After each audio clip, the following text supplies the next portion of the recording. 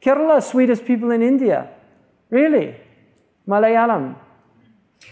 They speak Malayalam. Arabs say Malayalam. Kerala, nice people. Wallahi, some, I lived in the Emirates. All the Kerala people that were there, a lot of people from Kerala, they were the sweetest people. I was amazed at the Kerala people. They're just really humble people. I find Bengalis very humble people.